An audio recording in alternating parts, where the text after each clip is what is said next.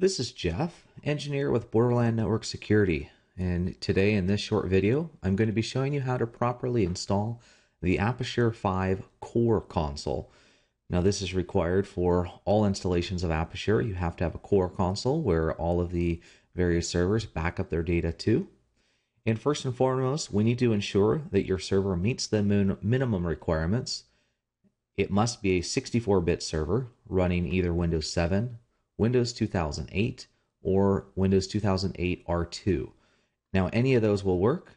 The hardware requirements, they're going to be a little bit different because every environment's a bit different. It's going to depend on how many servers you have, the frequency of backups that you need.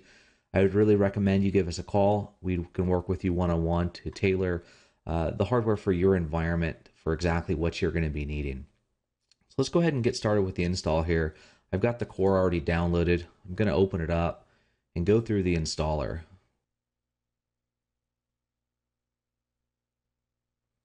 Okay, so we have the core installation welcome screen up.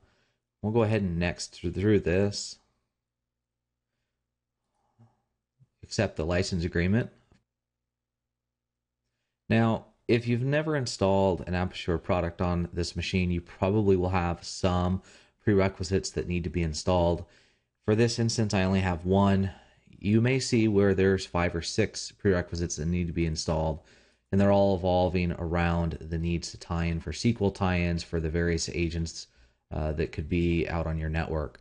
So go ahead and just tell it to install the prerequisites, and we'll go ahead and click next as soon as this is completed. Now, please do note, depending on the installer that you download, if you download the quick installer, it will not have all the prerequisites built into it, so it may need to download from the internet. In this example, I've downloaded, as we have on our website, the installer with all of the prerequisites built in. So it's a little bit larger of a download. However, it's a lot quicker on an install. So we can click here and see the details that our prerequisites completed.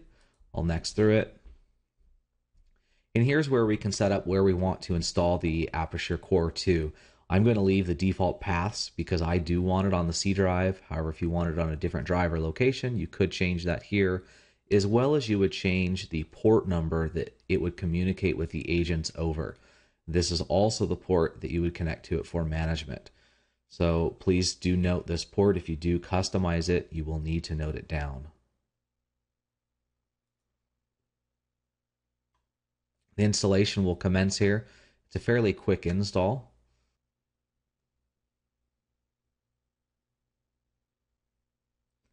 Once the installation part is finished, it will register components, copy over new files where it needs to where they need to be.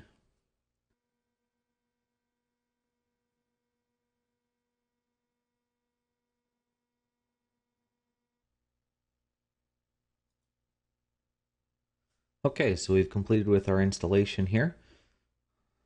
I'll click finish. And you'll notice that here on our desktop, we now have a core console icon. And if we double click this, it's actually going to launch our default web browser and it will open up the core console web page. Now, you can open this web page from either the core console here locally, or you can do it from any other network connected or internet connected machine which can access this server. Now you'll notice that whenever you launch the core console, it will prompt you for your credentials to log in. It wants to ensure it knows who you are.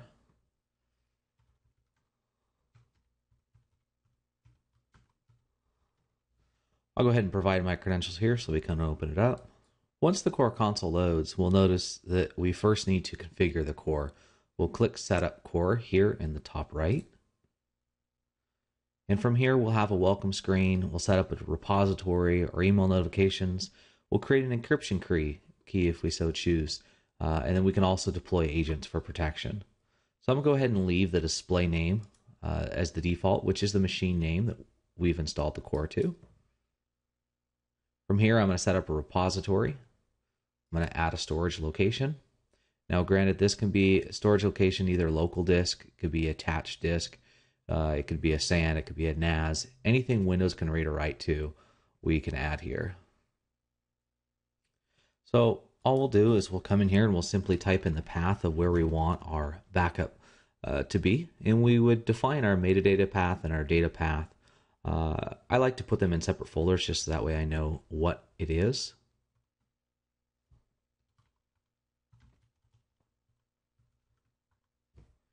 And here we go. And at the bottom, we're going to define the size of our actual repository. Yeah, it could be very small, very large. It's going to depend on your media as well as how much storage space you're going to actually need.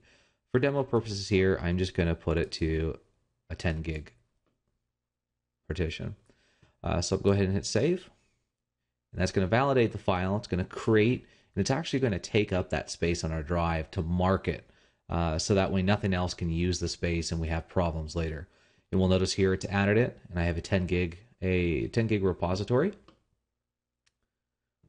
I'm going to move on to the next step.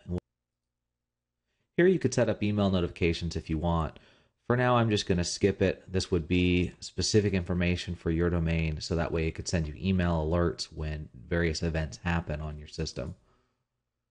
And here we would set up an encryption key and the encryption key would encrypt, of course, our file. And again, though, for demo purposes, I'm just going to leave with no encryption key. And here, our last and final step is where we can actually deploy agents. It has a link here where we can download the installer. I, however, have already downloaded the installer and have it, so I can deploy an agent. I'm going to click the Finish button. and we'll be taken back to the main core screen, this time no longer having the setup core option since it has already been done. We do, however, have a question mark here for any help information that we can open up and get information about various features, very extensive. So now that we have the core completely set up, we're ready to deploy agents. That actually, however, will be in another video. So Please remember if you have any questions or doubts, don't hesitate to give us a call. We can be reached 760 736 8100. I or one of my colleagues will be more than happy to assist you uh, with whatever questions or needs that you have. I hope you have a great day.